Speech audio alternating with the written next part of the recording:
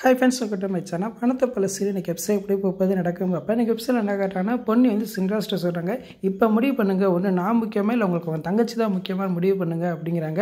உங்களுக்கு தங்கச்சி தான் முக்கியம்னா இந்த இடத்துலையும் என் தாலியை அறுத்து விட்டு அப்படியே போயிருங்க நான் இந்த இடத்துல செத்து போயிடுறேன் அப்படிங்கிறாங்க. பொண்ணை தொலை வந்து என்னால் எங்கள் அண்ணனுக்கு எந்த பிரச்சனையும் வேண்டாம் நான் போயிடுறேன் அப்படின்னு சொல்லி அழுதுகிட்டே போயிடுறாங்க.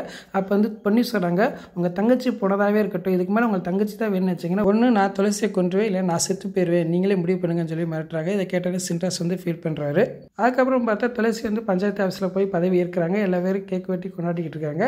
இதை ஓரமாக நின்று சிண்டாசு புலிக்குட்டியும் பார்த்து ரசிச்சுக்கிட்டு இருக்காங்க. அப்போ வந்து துளசி சொல்கிறாங்க என்னையும் எங்கள் அண்ணனையும் உடம்பால் பிரிக்கலாம். ஆனால் மனசால் என்றைக்குமே பிரிக்க முடியாது. எங்கள் அண்ணன் எப்பயும் என் மனசுக்குள்ளே தான் இருக்கு அப்படிங்கிறாங்க. இதை கேட்டோன்னா அப்படியே சிண்டாஸ் அப்படியே கண் கலங்குறாரு. அதுக்கப்புறம் பார்த்தா நந்தினி லோனாகி வெற்றியை போய் பார்க்க போகிறாங்க வெற்றிட்டு ஐடியா கேட்குறாங்க ராஜபண்ணது தாலி கட்ட மாட்டேன்ட்டா நான் என்ன செய்யறது அப்படின்னு சொல்லி நந்தினி கேட்குறாங்க அதுக்கு வெற்றி சொல்கிறேன் நீங்கள் நேராக பொலிட்டிஷியன் போய் கம்ப்ளைண்ட் பண்ணுங்க. என்னை வந்து ஏமாத்திட்டான்னு சொல்லி கம்ப்ளைண்ட் பண்ணிங்கன்னா ஆட்டோமேட்டிக்காக ராஜபாண்டி வந்து உங்கள் கால் வந்து கெஞ்சுவேன். கேஸை வாபஸ் வாங்கிட்டு நான் உன் கழுத்தை தாலி கட்டுவேன் அப்படின்னு சொல்லி கெஞ்சுவேன் அப்படின்னு ஐடியா கொடுக்குறாரு. இன்றைக்கான எபிசோட் இப்படி தான் போகுது. ஃபுல் வீடியோ பார்த்துட்டு பேசுவோம். இந்த வீடியோ பிடிச்சா வீடியோக்கு லைக் கொடுத்துட்டு மறக்காமல் சப்ஸ்கிரைப் பண்ணுங்கள் தேங்க்யூ